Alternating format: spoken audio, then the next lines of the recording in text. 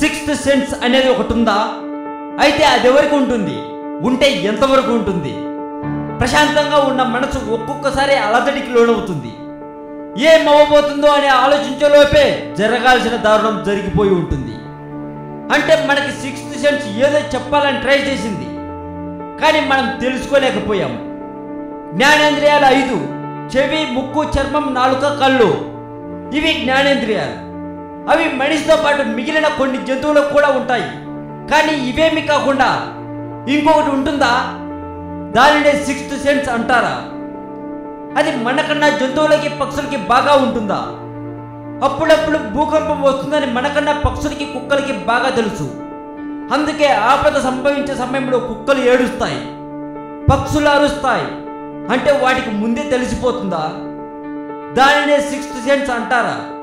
మొదటి ప్రపంచ యుద్ధ సమయంలో హిట్లర్ ఒక చోట కూర్చొని ఏదో దీనంగా ఆలోచిస్తున్నాడట. దాదాపు రెండు గంటల పాటు ఏమీ తోచట్లేదు. ఏమీ అర్థం కాని పరిస్థితి. దాని అర్థం హిట్లర్కి సిక్స్త్ సెన్స్ ఏదో చెబుతుంది. ఇక అంతే ఆలోచించి అక్కడి నుండి దూరంగా హిట్లర్ వెళ్ళిపోయారు. పరుగులు తీశాడు. అతను వెళ్ళిన కొద్దిసేపటికి అక్కడ బాంబుల వర్షం కురిసింది.